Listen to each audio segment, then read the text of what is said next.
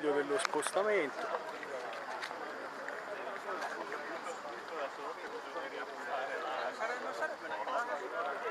Ah, vediamo se vado a sbattere da qualche parte.